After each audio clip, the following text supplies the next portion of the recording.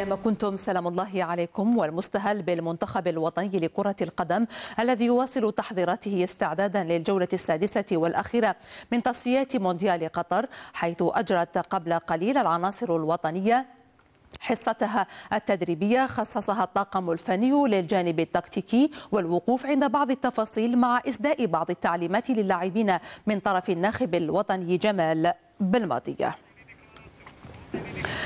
الآن مشاهدينا الكرام برمج الطاقم الفني اليوم حصة فيديو ظهر اليوم على أن يخوض رفقاء القائد رياض محرز حصة تدريبية أخيرة غدا الاثنين استعدادا للجولة الخامسة من تصفية المونديال أمام منتخب بوركينا فاسو وذلك في في تما أو في توقيت المباراة كما تنص عليه لوائح الفيفا. إذا نذكر أن المنتخب الوطني سبق وأن فاز في الجولة الخامسة قبل يومين على نظيره الجيبوتي برباعية كاملة على ملعب القاهرة. فوز وصل به منتخبنا الوطني إلى المباراة الثانية والثلاثين من دون هزيمة. وضعته في صدارة المجموعة الأولى بثلاث عشرة نقطة متقدما على الوصيف بوركينا فاسو بإحدى عشر نقطة فيما يحتل منتخب النيجر المركز الثالث بأربع نقاط وتقبع جيبوتي في آخر الترتيب بدون رصيد. نذكر فقط مشاهدينا الكرام أن الناخب الوطني جمال بالماضي سينشط غدا ندوة صحفية بقاعة المؤتمرات التابعة لمركز سيدي موسى سيتطرق من خلالها إلى العديد من النقاط التي تخص مباراة بوركينا فاسو المقبلة. كما سيعود أيضا إلى مجريات الجولة الخامسة والندوة هاته. ستكون فرصة أيضا للإجابة على انشغالات الصحفيين الذين يمثلون مختلف وسائل الإعلام. دائما مع المنتخبات الوطنية وهذه المرة مع المنتخب الوطني لكرة القدم للاعبين المحليين الذي يواصل تحضيراته بدبي الإماراتية وذلك تحضيرا نقول للودية الثانية أمام منتخب جنوب أفريقيا بعد أن انهزم في الودية الأولى أمام منتخب نيوزيلندا.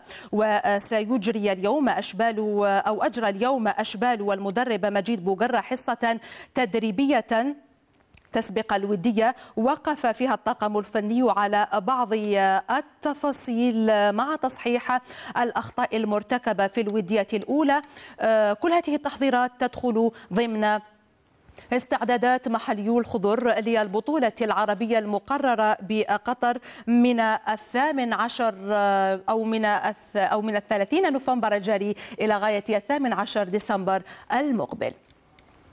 أما منتخب لأقل عشرين لأقل من عشرين سنة الذي حقق أمس أول فوز له على نظيره الليبي بهدف لصفر في دورة اتحاد شمال إفريقيا عقب تغلبه على منتخب ليبيا كما ذكرت في ثالث الجولات. بملعب قرطاج وسجل هدف الفوز اللاعب إدريس بونعاس في الدقيقة الثلاثين. وسيلعب منتخبنا الوطني لهذه الفئة آخر مقابلة غدا الاثنين حساب الجولة الرابعة أمام منتخب موريتانيا قبل أن يعفى من الجولة الخامسة والأخيرة المقررة يوم الأربعاء المقبل.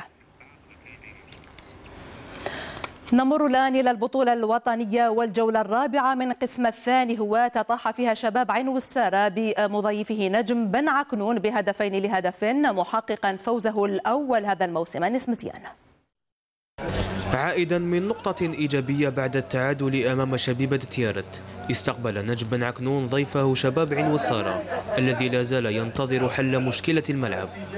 الشوط الأول عرف ضغطا ممارسا من طرف النجم عبر الكرات الثابتة لكنه لم يكن فعالا أمام واقعية دفاع الشباب الذي كان متماسكا وعرف كيف يفتتح باب التسجيل عن طريق رأسية جميلة من أوجان شكيب.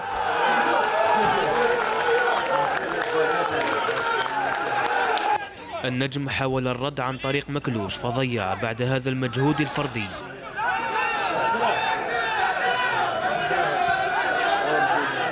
الهجومات تتواصل والاستماتة الدفاعية كانت حاضرة من طرف أشبال بن حليم أبو علام الذين تكبدوا هدف التعادل عن طريق جوشي حميد الذي استغل هذا الارتباك الدفاعي وبه انتهى الشوط الأول بالتعادل الإيجابي. الشوط الثاني بدأ بضغط أبناء الجنوب الذين وصلوا إلى شباك الحارس عبدون بدر الدين ولثاني مرة عبر هذه التسديدة المميزة من طرف اللاعب مياز أسامة والتي تستحق الإعادة.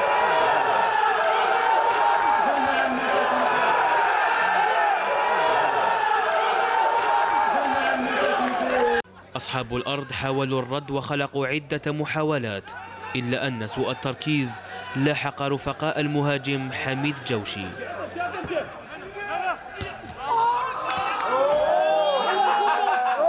في المقابل شاهدنا دفاعا متين لرفقاء الحارس عليل أسامة الذين عادوا بفوز ثمين وفرحة عارمة لأبناء الجنوب.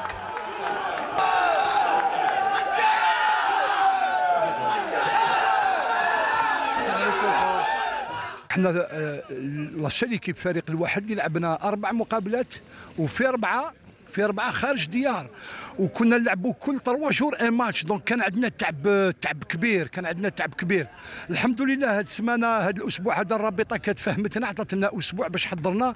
نظن حضرنا كما ينبغي. وكانت عندنا une petite pression نتاع une petite pression تاع une victoire trois matchs. c'est vrai que on fait trois matchs nuls وفي ثلاثة في ال extérieur mais on avait besoin d'une victoire اللي تعطينا تعطينا واحد الدعم معنوي كبير.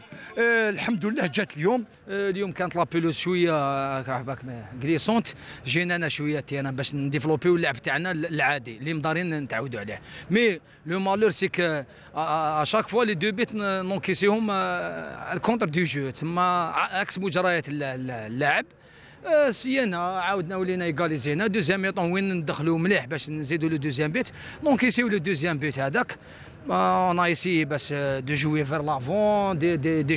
Les, les actions, les, la vitesse vers l'avant, mais malheureusement ما جابوناش les buts. mais هذا هو ال football أنا بصحتهم l'équipe تاع وساره إحنا ان شاء الله نبريباريو les prochains matchs ان شاء الله هذا هو ال charme تاع ال football أنا ليا en tant qu'entraîneur واش نقول لك نقول لك باللي le charme تاع ال football نهار اللي تخسر تشوف الناس كاع زعفانه ولا الناس كاع abattus شوية انت اللي en tant مدرب كيف تعاود تموتيفي ال groupe تاعك كيف باش يروح يجيب. عندنا زوج خرجات ما تنساوش. mais لازمنا au moins نجيبوا les 4 points إن شاء الله. مازال championnat طويله هذا هو équipe تخسر domicile تربح برا. مازال مازال championnat إن شاء الله. وقبل مواصلة الحديث عن القسم الثاني هوات وفي آخر خبر وردنا الآن من الإمارات العربية المتحدة فإن مباراة المنتخب الوطني للمحليين لن يلعب مباراته الودية الثانية أمام جنوب السودان بسبب عدم وصول المنتخب السوداني إلى دبي بالعودة إلى القسم الثاني الآن أحرز اتحاد حجوت أكبر نتيجة حينما اكتسح ضيفه جمعية عين الدفلة بستة أهداف لهدف موقعا فوزه الأول في الموسم ولد غريبية فوضى عارمة عند مدخل ملعب خمسة جويليا بحجوط عطلت دخولنا إلى الملعب لتغطية مباراة اتحاد حجوط وضيفه جيل دفلة.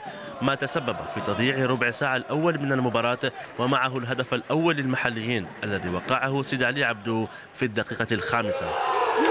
الشوط الأول عرف سيطرة مطلقة لأصحاب الأرض الذين أضافوا هدفا ثانيا في الدقيقة التاسعة والعشرين عن طريق نفس اللاعب عبدو.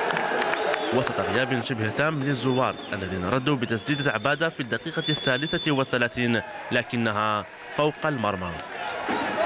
دقيقتان بعد ذلك مخالفة لاتحاد حجوط حروش في التنفيذ وعبدو مرة أخرى برأسية يضيف الهدف الثالث. ثلاثية أدت إلى انهيار جيل عند دفلة الذي تلقى هدفا رابعا في الدقيقة الأربعين بعد خطأ في الدفاع ونجاح ينفرد بالحارس شخار ويسكن الكرة في الشباك. أربعة أهداف دون مقابل لاتحاد حجوط. هي النتيجة التي انتهى عليها شوط المباراة الأول. في الشوط الثاني حاول عناصر جيل دفلة الاستفاق عن طريق شريف على مرتين بتسديدة ضعيفة جانبية في الدقيقة الحادية والستين ورأسية جانبية في الدقيقة الثالثة والستين. ثم تسديدة كوسيري في الدقيقة الخامسة والستين. انبره لها الحارس سيدي عيسى ببراعة للركنية. رد الاتحاد جاء في الدقيقة السبعين عن طريق المتألق عبدو الذي وقع الهدف الرابع له والخامس لفريقه.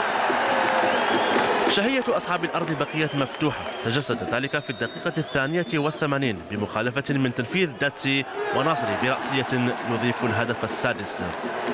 رد فعل جيل عندفلة جاء في الدقيقة الثامنة والثمانين عن طريق بومعزة وعمل ثنائي مع كوسيري يسجل هدف الشرف ليرد عليها الاتحاد في الدقيقة الأخيرة بواسطة سعيداني الذي يضيع وجها لوجه هدفا سابعا. لتنتهي المباراة بفوز اتحاد حجوط بستة أهداف مقابل هدف واحد لجيل عين الدفلة. اللي كانت مباراة ما كانت سهلة علينا. هنا الحمد لله مزية ماركينا dix minutes الولا وين سهلنا على روحنا؟ خاطر كنا بالك premier temps كملوا 0 0 بارتيات صعب علينا. كما نقولوا الحمد لله féliciter l'ensemble joueurs يعطيهم الصحة نشكر الطاقم الفني. وكما نقولوا نطلبوا من السلطات يغزروا الفريق هذا نطلبوا كما نقولوا إن شاء الله يعاونونا الفريق هذا راهو كما نقولوا فريق يمثل الولاية. نطلبوا كما نقولوا يعاونوا هذا ما حضرنا بكل جديه هذه المقابلة. والهدف الرئيسي تاعنا من هذه المقابلة هي ثلاث نقاط وخدينا بكل اعتبار الفريق الخصم احترمناه واللاعبين كانوا فوق الميدان آه، منتشرين مليح لعبوا كرة نظيفة داروا نصوص كرويه لاباس بها سجلنا آه، ست أهداف. ونقول لك باللي الفريق تاعي الشبان راهن في منحنى تصاعدي. ما نقولش أنا وصلنا 80% آه، مي أنا 60% ومازال العمل الكبير إن شاء الله لهذا الفريق. من جهته ارتقى وداد بوفاريك إلى الصف الرابع عقب فوزه على ضيفه جمعية وهران بهدفين لهدف محمد جمال والتفاصيل. بعد خسارة في حشوط يحاول وداد بوفريك استدراك الموقف أمام الضيف جمعية وهران الباحث عن نتيجة مرضية أخرى. الفرصة الأولى كانت للفريق الضيف في الدقيقة السابعة. أوكيل حاول غير أن الكرة جانبت القائم الأيسر لمرمى الحارس مرزوقي. رد أصحاب الأرض بهذه الرأسية الأولى من مفتاحي بدون خطورة على مرمى الحارس عمارة في الربع ساعة الأول. لكن الثانية وجدت الطريق للشباك برأسية من مفتاحي فاتحا التسجيل لوداد بوفريق في الدقيقة الحادية والعشرين من زمن الشوط الأول. التوزيعة المضبوطة وجدت الرأسية الرائعة لمفتاحي الذي أسعد عناصر الوداد بالهدف الأول. الرد جاء من اللاعب المخضرم عواد وبطريقة بارعة عدل النتيجة لمصلحة جمعية وهران في الدقيقة التاسعة والثلاثين. الكرة كانت صعبة وفي الزاوية البعيدة. لمرمى الحارس مرزوقي كما نشاهد بالعرض البطيء والضربة البارعة من عواد. بعد ذلك ضيع بودة فرصة الهدف الثاني فمرت الكرة جانبية. مع نهاية الشوط الأول الذي انتهى بالتعادل هدف في كل شبكة بين الفريقين. في الشوط الثاني وفي الدقيقة الثانية والخمسين وعلى إثر هذه العملية أدني يسجل بقوة ويضاعف النتيجة لوداد بوفريك بتسديدة تركت الحارس عمار يتفرج مانحا الأفضلية مرة أخرى. للمحليين.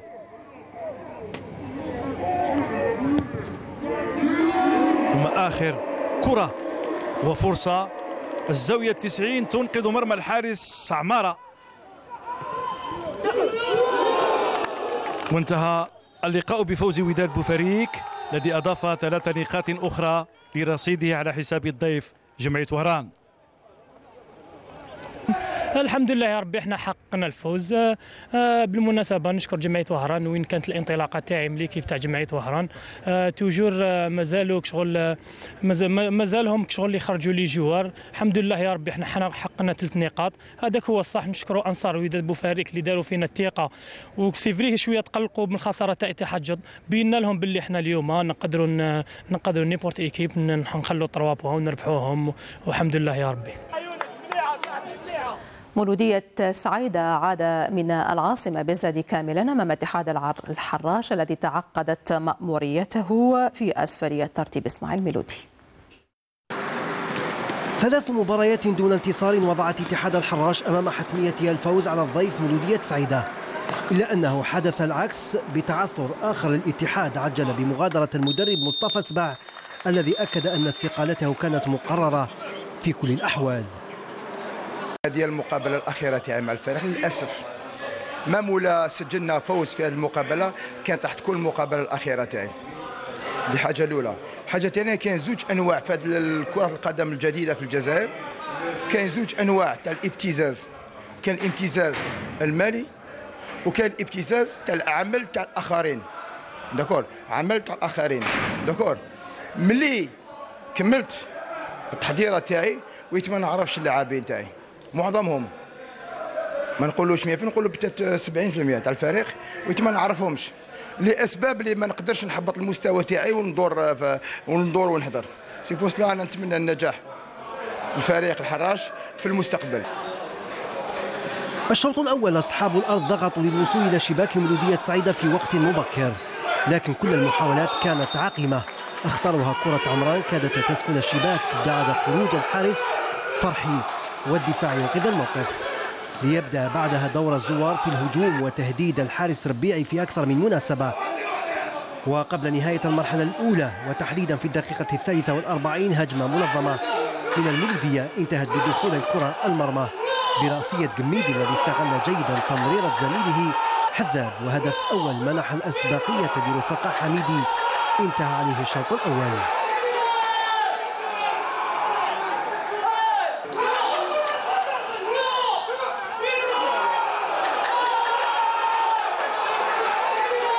في المرحلة الثانية وبينما كان الجميع ينتظر انتفاضة اتحاد الحراش. مولودية سعيدة سيطرت على اللقاء والاستحواذ على الكرة. حميدي وفي الدقيقة السادسة والخمسين وبهجمة معاكسة كاد أن يضيف الهدف الثاني لكنه لم يسدد الكرة جيدا.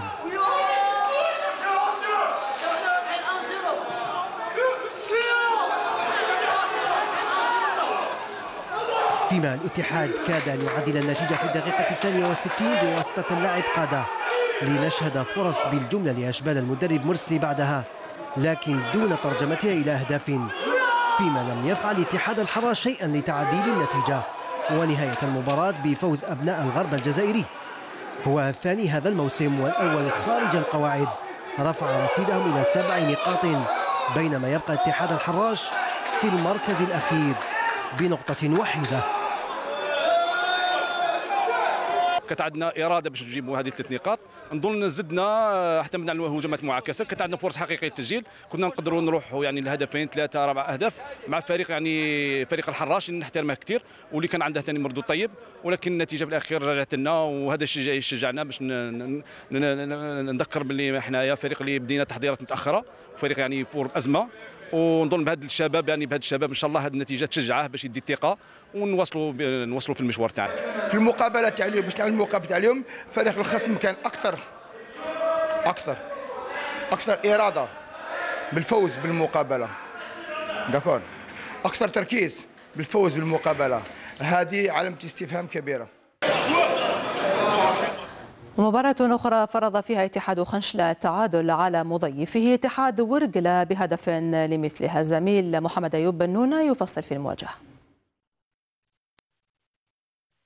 في إطار الجولة الرابعة من بطولة القسم الوطني الثاني مجموعة وسط شرق ضيع اتحاد ورقلة نقطتين ثمينتين بميدانه أمام ضيفه اتحاد خنشلة الذي اقتسم نقاط هذه المقابلة أمام أصحاب الدار. المحليون دخلوا بقوة مع بداية المباراة وخلقوا عديد الفرص السانحة للتسجيل حيث اعتمد زملاء القائد ثليب على الكرات الثابتة التي أربكت الدفاع الخنشلي في الكثير من الأحيان.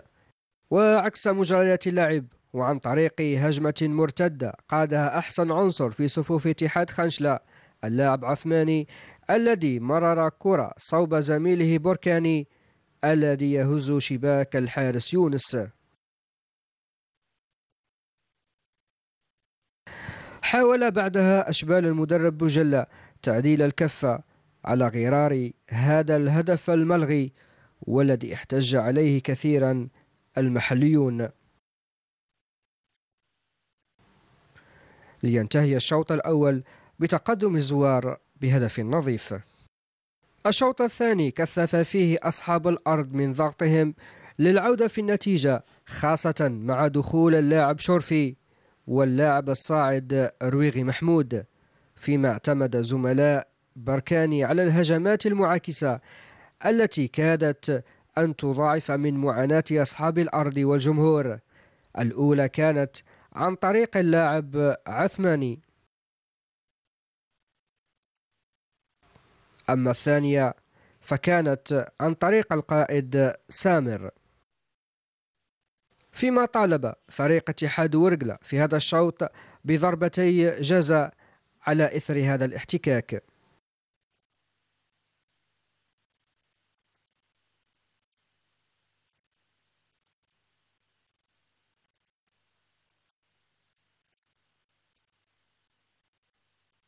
الدقائق الأخيرة من المقابلة تمكن فيها اللاعب صغير صالح وبعد عمل جميل من تعديل النتيجة برأسية رائعة سكنت شباك الحارس بولصنام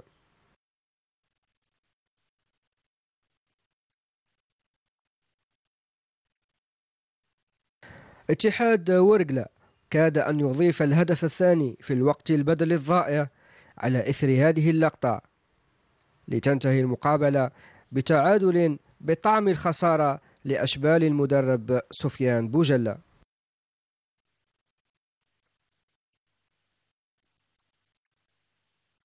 كان عندنا ضربة جزاء شرعية ما سجلها ما ما, الناس. الشوط الثاني بدأنا بعد التغييرات والمنافس بقى في الخلف يلعب على مرتدات.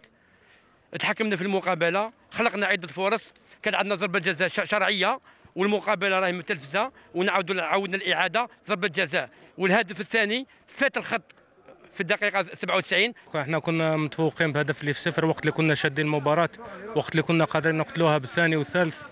malheureusement مكتوب الله آه، جات هفوة وقت وقع manque concentration. وضمن الجولة ذاتها انتهت المباراة التي جمعت اتحاد الشاوية بمولودية بجاية على وقع التعادل الإيجابي بهدف لمثله. وبهذا حافظ المضيف اتحاد الشاوية على صدارة مجموعة وسط شرق بعشر نقاط فيما يتواجد مرودية بجاية في المركز الثامن بخمس نقاط مناصفة مع اتحاد ورقلة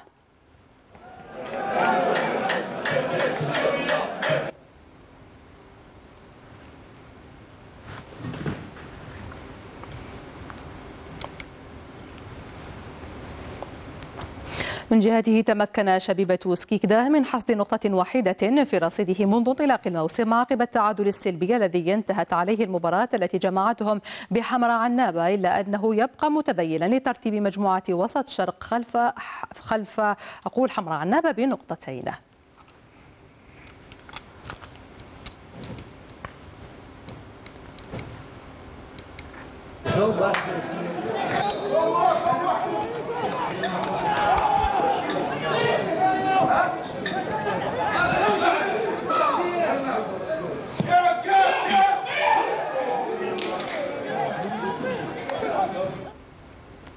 الآن مشاهدينا الكرام نتابع وإياكم النتائج الكاملة للجولة الرابعة من القسم الثاني هوات في الجدول التالي.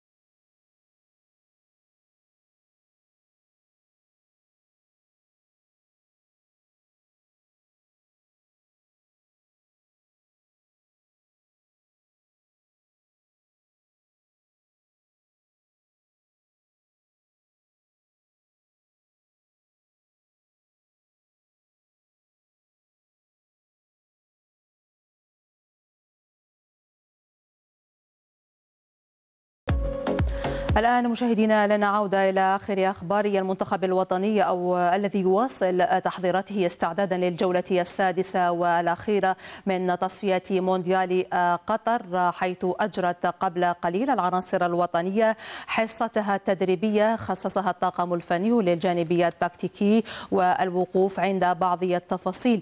وعرفت الحصة التدريبية التي احتضنها ملعب الشهيد مصطفى تشاكر حضور جميع العناصر التي تدربت بمعنويات مرتفعة وتركيز عال من طرف اللاعبين بدورهم أبدوا اللاعبون استعدادهم لمباراة يوم الثلاثاء خاصة وأنها ستشهد عودة الجماهير إلى المدرجات بعد غياب طويل دام عامين. On va donner le maximum, on est, on est bien préparé, on s'entraîne euh, tous bien et Inch'Allah ça, on va ramener les trois points. C'est sûr, après nous, je pense qu'ils viennent jouer, on est à domicile, on aura un peu de public.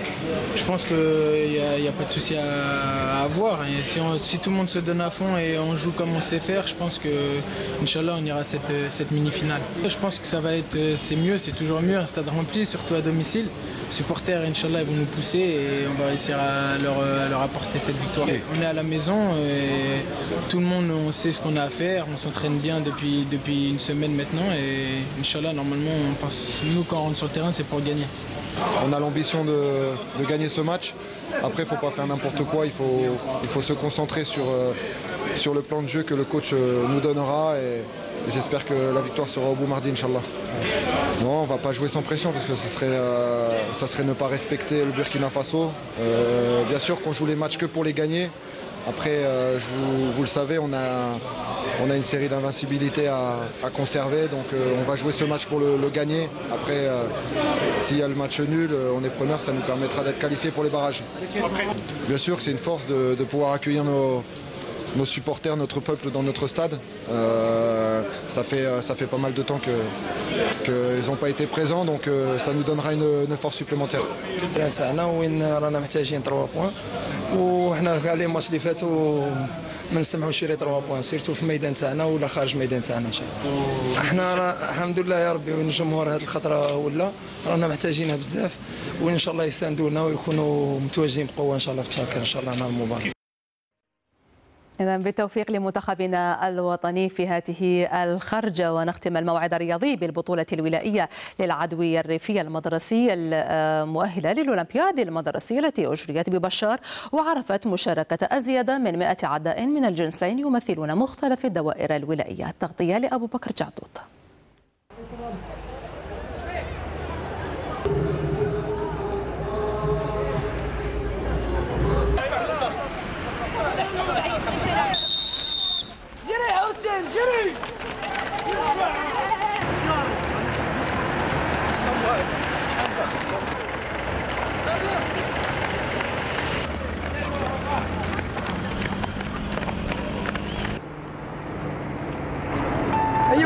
أيوه لا لا لا مدفوع إحنا زيد زيد ها هذا هذا صح مليحه مليحه داخله في الروح الرياضيه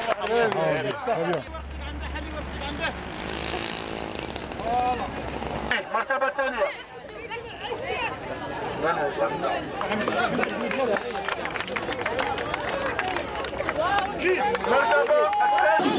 نظمت مديرية التربية الرابطة الولائية للرياضة المدرسية العدو العدو المدرسي عبر الطرقات كانت المرحلة البلدية في الواحد والثلاثين من أكتوبر. واليوم نشهد المرحلة الولائية لهذا العدو. وكما تعرفون بأن الرياضة المدرسية هي النواة الأولى لأبطال المستقبل. هذه التظاهرات تاع اليوم شاركوا فيها جميع جميع دوائر ولاية بشار ست دوائر لجميع الأصناف وجميع المسافات. ولاية بشار أعطوها تؤهل مباشرة للمرحلة الوطنية بدون ما تمر مع المرحلة الجهوية لأن حققت حققت نتائج كبيرة في خلال عشر سنوات الأخيرة. الحمد لله تاهل البطولة الوطنية بصح على المرتبة الأولى. نشكر نادي الهلال الصحراوي الاب تاعي والمدرب تاعي اليوم شاركت في البطولة الجهوية واحتلت المرتبة الأولى وإن شاء الله البطولة الوطنية. ونشكر أساتذتي و... واللي وقفوا معايا. كانت المنافسة شديدة و... وكلاسيت الأول وتأهلت البطولة. إذا بالعدو الريفي المدرسي يصل وإياكم إلى ختام الموعد الرياضي لنهار اليوم. قدمته لكم سهيلة معوش وترأس تحريره طارق بوفريح وكانت في الإخراج رضوان حاج حمد وفي التنسيق إسلامي الواركي تحياتي وتحية طاقم التحرير والطاقم التقني الذي خدمكم. من إليكم أطيب المنى. السلام عليكم.